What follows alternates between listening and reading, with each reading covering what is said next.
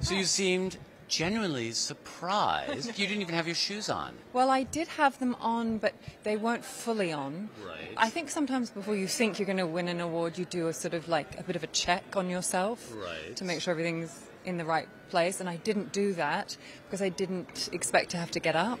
So I didn't. What I didn't do was sort of fully put my shoes on. So by the time I was near the stage, They were it was about a to fall yeah, off. they were flopping all over the place. But I the- kicked them off, and Pedro Pascal found them, so he has my shoes.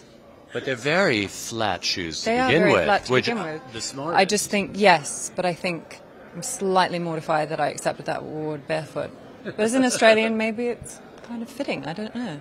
I felt quite grounded doing it like that. So is it safe to assume that you didn't have a speech ready too? I certainly did not, and maybe because I, I, I, I sort of told a story, but I really kind of really was just thinking about that funny little memory about how much I like being an actor. right. uh, the other day and sort of recounting it to my partner and saying, because every time I sort of finish working, I look around and think, well, that was nice. I wonder if I get to do that again. So, Do you really? yes, I lo- Every time you think I I, may not work again. Well, it's more just a sense of like, what will the next thing be, and will it be soon, or will it be a long time in the future, or um, every time I do a job, it feels like a huge uh, privilege to just be on a set and working with people. So Right. And you just got over the flu, and you made it here. I did, Yeah. thanks to vitamin C. So now you're going to go back to Australia. You're going to have to pay a lot of excess baggage fee because you got a lot of awards. Yes. How are you going to take them home? Three. I think we might have to get them in the hand luggage. Yeah, I think so. I did just buy an extra suitcase, but for clothes, not for trophies. Well, those you could ship. Yes, that's true. The trophies I would. I'm going to give you a call yeah. tomorrow when I need to pack. You're going to tell me what to do. Okay. Okay. Good. Have fun tonight. How are you going to party?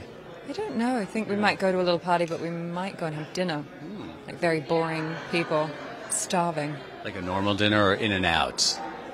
Not In-N-Out. Hmm. Um, like a normal dinner. Like maybe we'll like sit down somewhere and have dinner. Yeah. That's what I like about Take you. that huge Yeah. trophy and just shove it on the table, have Right. some dinner. And the dress stayed on. the dress stayed on. Speaking Yes, of which, it was just you're getting one more award from Extra. You're getting Best Dressed of the Evening. I wanted to tell you earlier, but I'm telling you now. you. Thank you. Yes, truly. Love this gown. It's Armani, isn't it? It's very beautiful. It's Armani. And the smartest lady with the flattest shoes. Truly.